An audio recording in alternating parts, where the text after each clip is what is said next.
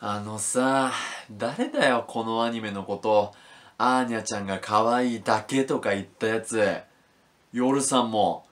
めちゃくちゃ可愛いだろうがはい、どうもリトです。というわけでね、すいませんね、最初からちょっと私の茶番にお付き合いいただきましてありがとうございます。というわけで、えー今回は毎週やらせていただいております、コジャスキン、スパイファミリーの感想動画やっていきたいと思います。今回ですね、えー昨日1年に放送になりました第9話の正直知る感想ということで、えー一切忖度ない感想ですね。いつも最初にネタ話して、このネタバありで話していきたいと思います。そしてね、ネタバ話して感想話していきますんで、えーこの先まだ最新話9話まで見えてないとかも安心して、えー聞いていただけますと幸いです。ということで、僕自身、えーちなみにこの先作品原作勢、まあジャンププラスね、読ませていただいてますし、単行本もね、こうやって買わせていただいている、まあこの作品大ファンということですが、アニメはどうだったか9話ね、えー正直な感想、まずネタバレなしで、えー結論から入っていきたいと思います。ということで、今回の9話、正直どうだったかって言いますと、めちゃくちゃ面白かったっすね。いや、面白すぎたなというところで、うん。まあ、まず、もう最初にも叫ばせていただきましたけど、夜さん、可愛すぎると。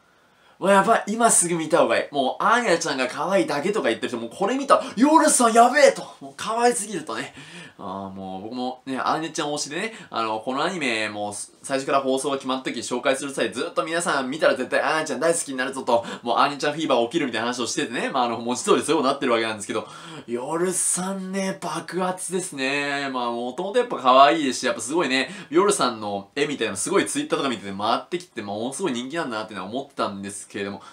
今回も可愛すぎたね。もう思わず私も推しが変わりそうに、推しというのがね、もう、あ変わりそうになるぐらい可愛かったですし、で、展開としてもね、予想斜め上を行くわけですよね。あ、こうなるんじゃねえかなと思ったら、この作品はそういうとこにとどまらんというところで、まあこれはね、原作でも非常に面白かった、笑わせていただいたポイントだったんですけども、アニメだとより今回コメディ色が強くなってたかなっていう印象で、まあどこがどうかってちょっとね、あの、変わってるところがあったんで、そちらに関してもまたネタバレありで話そうと思うんですけど、ここもね、やっぱ非常に良くて、めちゃくちゃ面白いぞと。うん。で、その上で、最後ほっこりする終わり方なんですよね。家族ね、あの、まだ関係性がこう修復されたというか、みたいな感じの、ところで、あねちゃんもいい味を出してきてっていう、なんかこの先のやっぱすごいうまさが出てたというか、あの、可愛さも、ヒロインとかね、キャラの可愛さもあり、まあもちろん爆笑展開も、僕も冒頭とかまあずっと笑ってたんですけど、まあ前回からね、ユーリっていう、あの、夜さんの弟ができてっていうところで、あの、まあ大いに笑わせていただきね、最後にはもうちょっと感動して泣きそうになっちゃうみたいな、ここの構成もやっぱ非常に上手くて、いやーおもろいなっていうのは思いました。で、今回もね、原作2話分という、まあテーマも非常にいい感じなんじゃないかなというところで、話の収まりとかもね、構成も非常に良くてですね、まああの、まあ、なんかところどころ原作変えてるとこもあったし、まあちょっと追加してる描写みたいなのもあったんですけど、それもね、非常にうまく決まってた。あ、作画は非常に良かったですね。今回結構作画がね、ちょっとなんかあの、いい作画であってほしいみたいなとこあったんで、まあそういう意味であの、非常に作画も、今回ビットスタジオ3回かなと思いますけど、非常に良かったし、うん、やっぱクオリティも非常に高くてね、面白いなっていうのはね、思ってました。で、今回またアーニャちゃんの出番が少なくてですね、それちょっと寂しいと。アーニャちゃん推しでね、アーニャちゃん一筋と今回の夜さん見ても揺らがなと、俺はアーニャちゃん推しだって方もたくさんいらっしゃると思うんですけど、なので次回、またね、出てきますね。がっつり出てきます。それはまた次回お楽しみいただきたいと思うし、まあでもそれにしても夜さん変わりすぎました。私自身はもう大満足と。非常に非常にね、えー面白かったなと思いました。はい。で、なんか前回、前々回やったかななんかあのー、リクさん原作読んでるね、作品に対して評価甘くないっすかみたいななんか話をいただいたんですけど、あのー、これ全く忖度してませんし、別に原作読んでるから、読んでるからこそ厳しいね、見方をする時もあるし、まあもうこれはもう先によりきりなんですけど、まあ、このアニメに関しては本当にめちゃくちゃ面白いです。うん。あの別にこれ原作読んでなくても面白かったと思うし、原作読んでるからこそなんかより追加されたりとか、その音がついたり、まああの動きがついたりとかによって面白く見える部分もあったり、で、やっぱ笑いの部分はね、やっぱアニメ見るとより強化されてない印象がありますの、別にここね、特になんかそこでなんか差別してる、なんか、なんか区別して見てるわけじゃないですし、あの感想も言ってるわけじゃない。あくまでめちゃくちゃ面白いと思ったからめちゃくちゃ面白いと言ってるだけなんで、その点は、あの、ぜひ信頼、信信頼というか、ま あ、の、私のね、思ってることはもう本当のことですね、信じていただいてね、あの、またね、9話見てない方は楽しんで見ていただけたらなと思います。はい。っっていうとこだな。えー、たまりましたね、感想以上としまして。まあ、あと、あれか、ワンクール目終了までは残り早く待つ3話という、こうね、あの、12話でワンクール目が終わるみたいで、まあ、2クール目が秋アニメで来るんじゃないか、今年の10月から来るんじゃないかって話も結構言われてますけど、まあ、いつから放送されるかまあ決まってないですからね。うん。まあ、本当まあ、3話でどんな風に、まあ、うまく区切りをね、迎えられれば別にいいのかなっていう感じがしてますんで、まあ、本当ずっと面白いとは思うんですけど、ワンクール目の区切りとしてうまく、そこが収まればっていうとこだけなので、まあ、そこだけ、まあね、あの、アニメの制作陣の手腕にも期待してですね、えー、残り3話見ていきたいなというのは思ってます。まあ、この先は本当完結までアニメ化されるんじゃないかすでにま思ってる作品ですね。まあそういう点では本当、まああの別になんか終わってしまうからスパイファミリーロスに なるかもしれないけれども、あの、まあじっくり待ってばね、まあ確実にまた放送来ると思いますね。そちら、そういう点ではね、非常に安心して、まあ残り3話も楽しんでいけたらなというのを思ってます。はい。ということで、ネタ話の感想以上しまして、ここからネタバレありの感想ということで、まあ、Q はどこが良かったのかっていうのをね、えー、話していきたいなと思います。ネタバレありにね、ぜひ最新話を見ていただいてから、ここから見ていただけますと嬉しいです。ということで、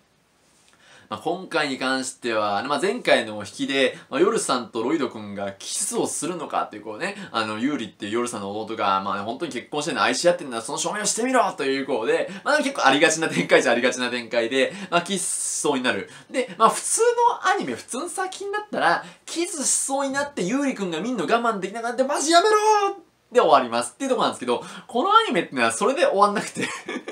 ヨルスさんが吹っ飛ばすんですよね、ユーリ君。これがまた面白くて、まあ、これがやっぱこの作品ならではでもあるし、で、ヨルスさんもユーリ君もなんかめちゃくちゃ酔っ払ってるし、みたいな。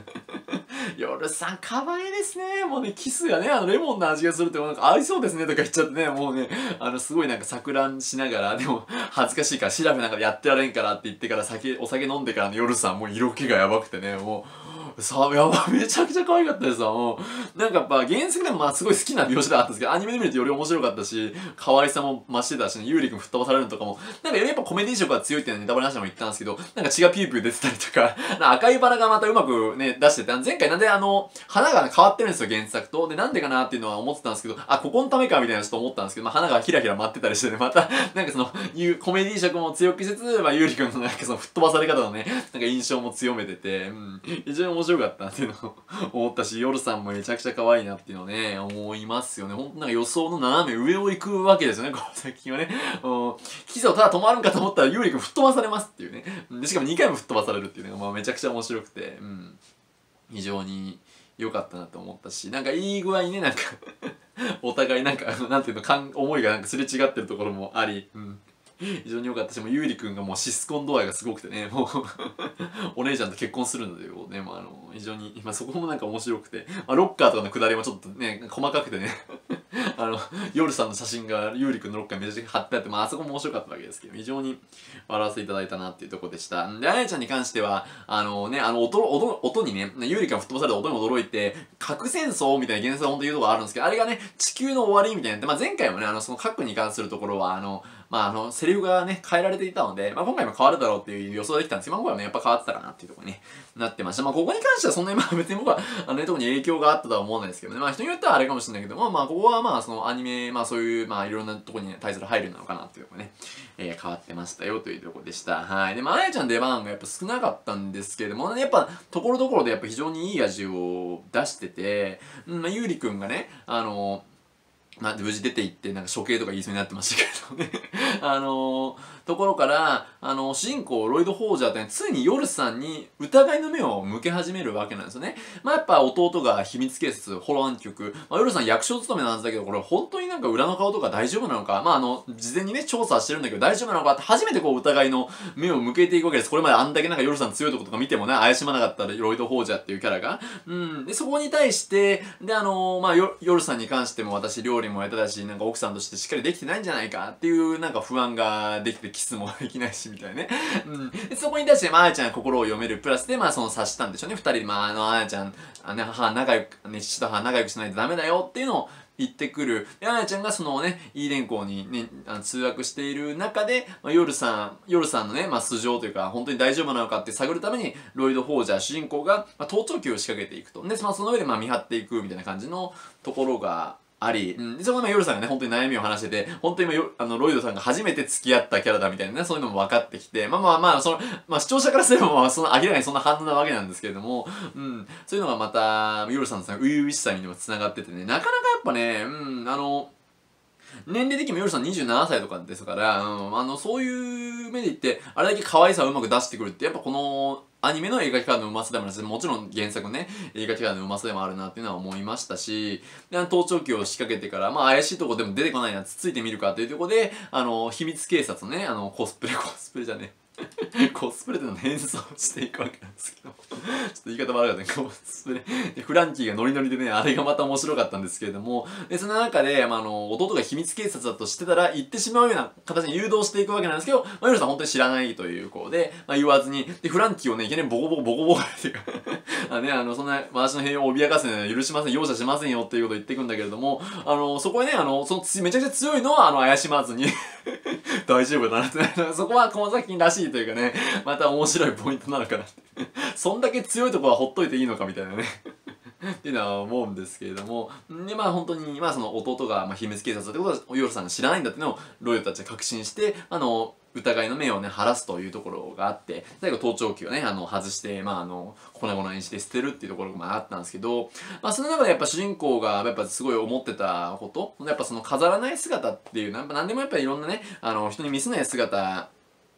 まあ、いろいろ取り繕ってね、やってるっていうところの話が出てきてて、なんか主人公の心の奥底というか、うん、なんか、まあ、みんなやっぱいろいろ演じてるんだけど、夜さんやっぱそのままでいいんだ、あの、ね、こうあるべきみたいなのが縛らなくていいんだっていうところが出てきて、そのままでいってほしいっていう話が出てきて、うん、演じてばかりで疲れてしまうこともあると。いう話をしていく中で、うんまあ、ロイド・ホージャー主人公に関してはもう夜さんへの信頼っていうのも深めて、あ、彼女は大丈夫な存在なんだっていうのも分かってるし、本当、まあすごいね、妻として、本当になんか真剣に考えてくれてるんだなっていうのも彼にも伝わってたのかなっていう思うんですけど、それに対しても夜さんも、やっぱその、ロイド・ホージャーのすごいその、ありがたい言葉だと思うんですよね。あの、彼女も、やっぱお、おか、あのね、あの、奥さんとして、妻として、アナちゃんの母親としてこうあるべきだっていうのはある中で、そのままでいいんだよっていうそのロイド・ホージャーの言葉っていうのはやっぱすごい心強かったもん。それに対してやっぱね、あの結婚相手ロールさんでよかったですみたいな、あの、ああ、やった夜さんのあそこのね、表情がまた良くてっていうとこで、うん、すごいやっぱここがほっこりして、最後、で、あやちゃんが、あね、父と母仲良しっていうとこで、